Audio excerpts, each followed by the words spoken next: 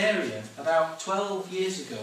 Um, and it started in Sofia with a group of colleagues, about 30 teachers. And we were doing stuff like this, you know, we'd prepare a topic, either I'd do some activities or my colleagues would bring activity.